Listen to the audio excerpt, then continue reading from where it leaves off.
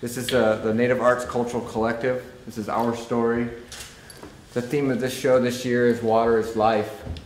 Um, we're really, really happy and, um, and, and, honored to be partnering with the, the Shasta County Arts Council this year um, and presenting this month-long cultural festival, this arts exhibit, this um, we're creating a, a, place, a place for Native people to tell their story through art, through song, through dance, through these different ways of color and, and words and sounds, so that we can, we can share what we have to share in this world in a good way.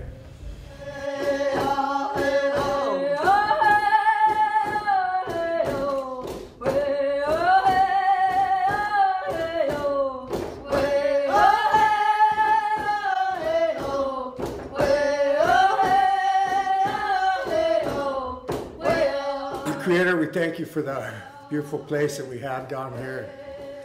We thank you for your strong hand and watch over all the land, all our children, all our elders, all our grandfathers and grandmothers. We thank you tonight. We want to honor the, the spirit of the water. We know it's so strong that it joins forces like the spirit of the wind. Spirit of the water and the spirit of the unites, it creates a, a cleansing on the earth.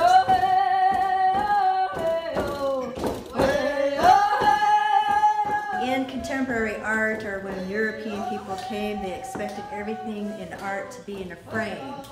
And I had decided that sometimes, well, because of historical trauma, we had to learn to adapt and fit in that frame.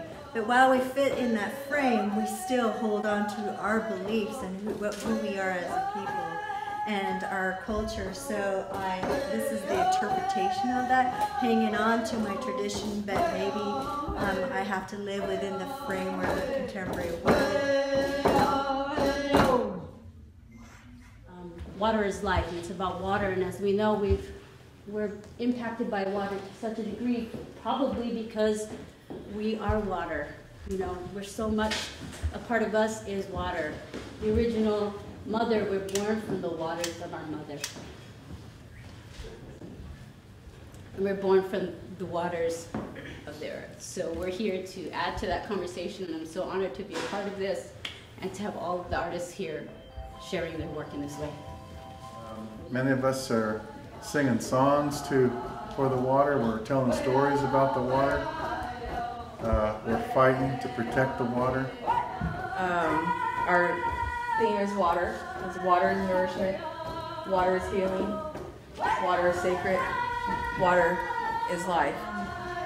I think it's nice to uh, just always keep uh, water at the forefront, just like uh, spirituality is not one part of our life, it's all of our life.